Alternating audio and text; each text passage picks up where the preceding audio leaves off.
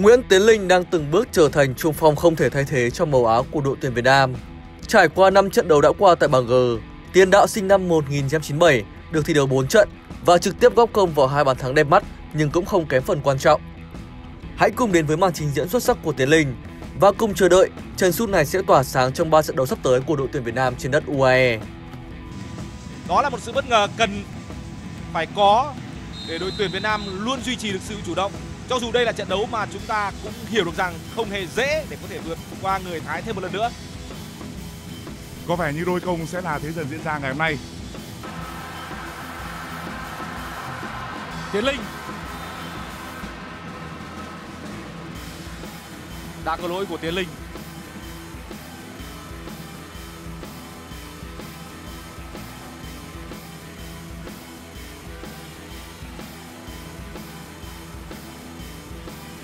Abdurrahman.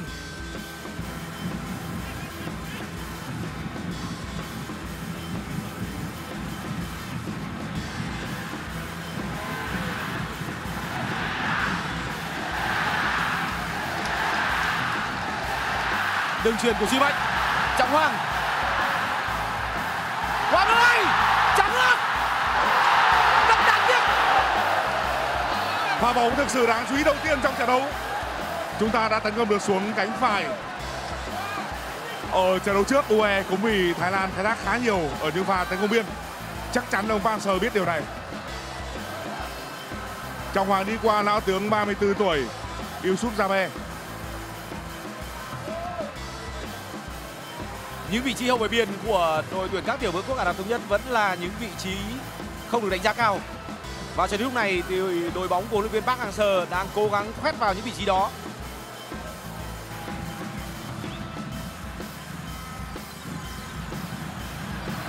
nhìn động tác xử lý rất bài bản của các cầu thủ áo đỏ. Đường truyền là của Trọng Hoàng. Hùng Dũng. Cơ hội Tiến Linh! Tiến Linh. bắn lên có thể có thẻ đỏ. Một tình huống phạm lỗi một tình huống mà có thể dẫn đến bàn thắng. Thế Thẻ đỏ trực tiếp. Thẻ đỏ là chính xác bởi vì đó là một pha bóng. Tiến Linh hoàn có thể ghi bàn.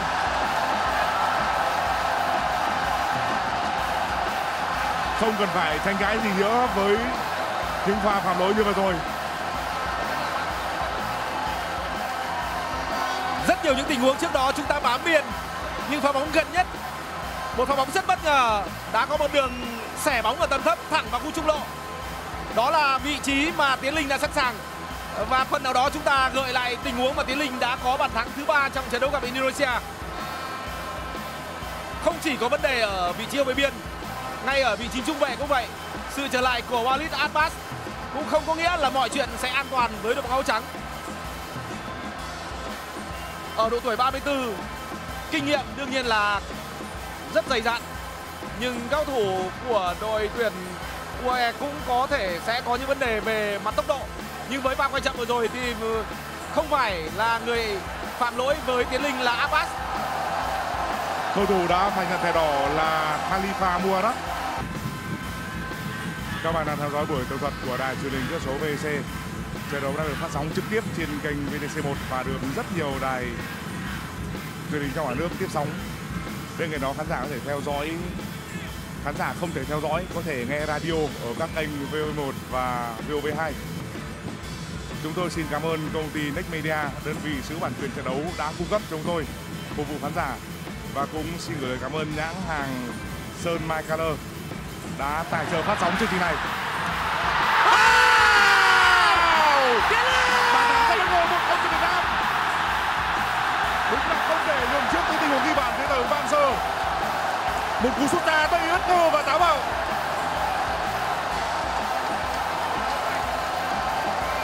một pha xử lý có thể nói là rất khó tin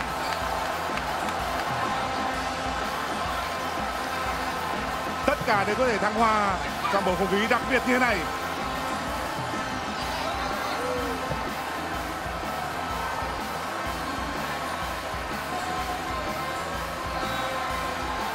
bàn thắng thứ hai của tiến linh tại vòng loại World Cup 2022 cũng là một cú đá bằng chân phải, nhưng cự ly thì rất xa. Khoảng cách có thể nói là lớn. Và rõ ràng đó là một thời điểm mà ít ai dám ngờ rằng đó là cú cú dứt điểm nhưng thực sự khi xem lại, chúng ta có thể thấu hiểu được tính hợp lý của nó. Cú đá quá xuất sắc. Hai mùa giải ở đây, tiến linh đã trở thành một tay săn mà lợi hại tại V-League. Tuy nhiên ở V-League thì có lẽ anh cũng chưa đá được quả bóng nào đẹp như này. Ấn tượng bất ngờ thế này từ xa. Đường truyền của tuấn anh cho đoàn văn hậu. Pha phải bóng vào Văn Hậu. tình huống vượt rất hay chúng ta đã đưa được bóng xuống nách vào phòng ngự đội bạn. Một tình huống tổ chức ở góc trái có thể nói là cực kỳ đường nét. Nhưng trở về với ờ, màu áo đỏ trong một trận đấu có nhiều thuận lợi như thế này, chúng ta chờ đợi khoảnh khắc mà công vượng có thể tỏa sáng. Đoàn văn hậu, chuyền bao để bóng. Đó rõ ràng là một tình huống có ý đồ. Bóng được đưa ra biên và khi nó được trả vào trung lộ, đó là một đường truyền ở tầm vừa phải phù hợp với một đá băng cắt của các trung phòng một lần nữa người băng vào là tiến linh đây có thể coi là trận đấu sống còn với chiếc ghế huấn luyện viên trưởng của ông Mark Menemi. Một pha phạm lỗi của cầu thủ số 8 bên phía đội tuyển Indonesia, đó là Rico. Thêm một trận đấu nữa, huấn luyện viên Mark Menemi thực hiện rất nhiều sự thay đổi trong đội xuất phát của đội tuyển Indonesia. Dutra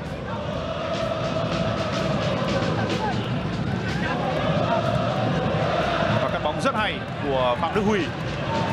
Hùng Dũng, không phải đó là pha lùi về của Tiến Linh. Tiến Linh! Tiến Linh đã bị phạm lỗi từ phía sau. Ngay lập tức trọng tài người Ả Rập Xê Út đã rút thẻ vàng dành cho cầu thủ của Indonesia.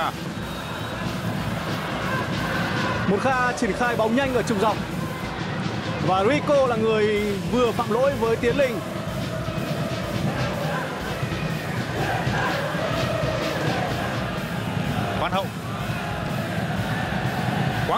Đường truyền cho Tiến Linh. Tiến Linh có thể dứt điểm bằng chân trái. Cú sút ừ, không chính xác của tiền đạo mang áo số 18 bên phía đội tuyển Việt Nam. Nhưng đó là một pha phối hợp, phải nói là rất gắn kết bài bản của đội tuyển Việt Nam.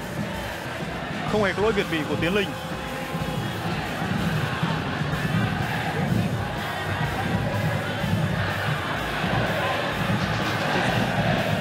Đức Huy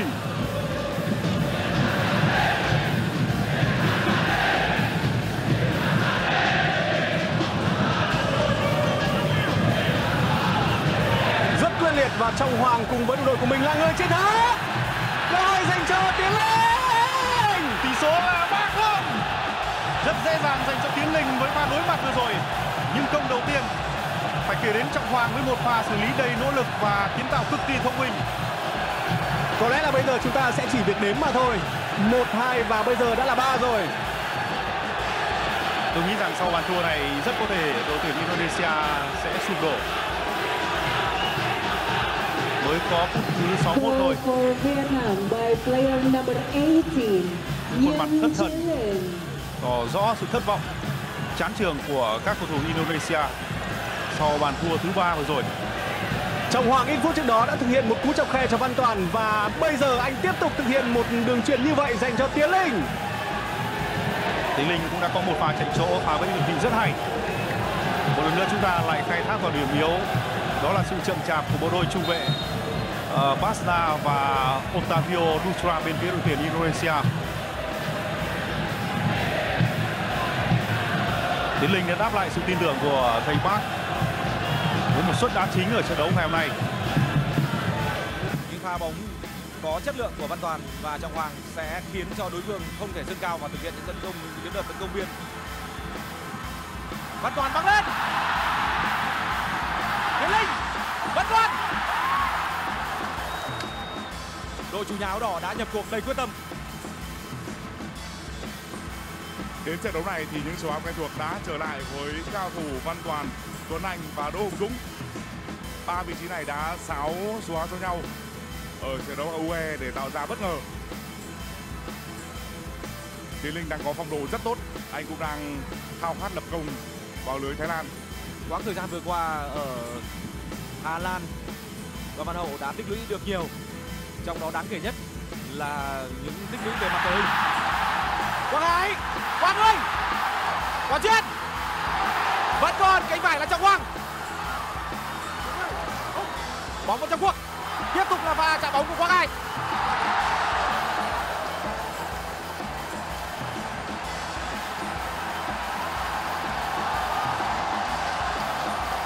những pha bóng dồn dập và nó được cổ vũ bởi một khí thế tuyệt vời trên sân vận động quốc gia Mỹ Đình.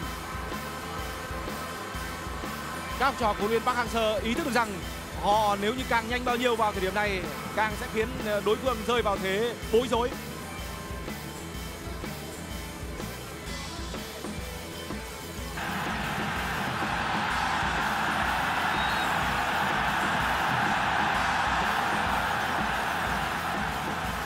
phút thứ 25 và tỷ số vẫn đang là không đều.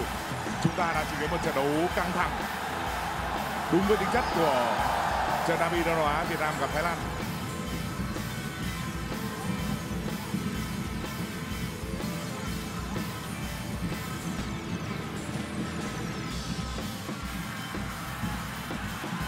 Tiến Linh gây sức ép.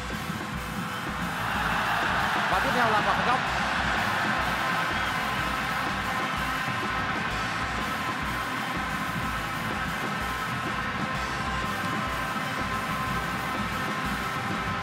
Hoàn toàn có thể có những pha xử lý bất ngờ ở tình huống này. Cú đá không trúng tầm bóng của Quang Hải. Lỗi việt vị. Trợ lý trọng tài đã càng giờ báo về vị. Đó là trợ lý số 2 An Khai Thi. Đoàn Văn Hậu đã xuống hơi sớm hơn so với đường truyền. Chính xác hơn là hậu vệ cánh trái của đội tuyển Việt Nam đã di chuyển lên để và tránh bẫy việt vị hơi chậm. Nhưng miếng chiến thuật này là một miếng chiến thuật rất đáng để chờ đợi